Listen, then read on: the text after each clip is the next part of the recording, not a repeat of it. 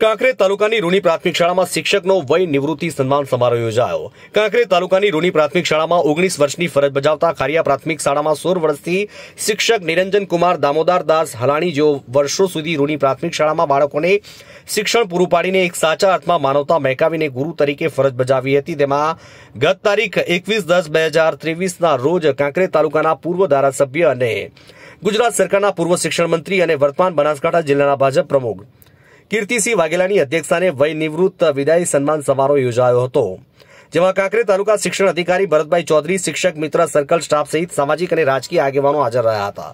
ત્યારે ફૂલહાર પહેરાવી કુમકુમ તિલક કરી સાલ ઉડાડી મોમેન્ટો આપી શ્રીફળ આપી સન્માન કરવામાં આવ્યું હતું.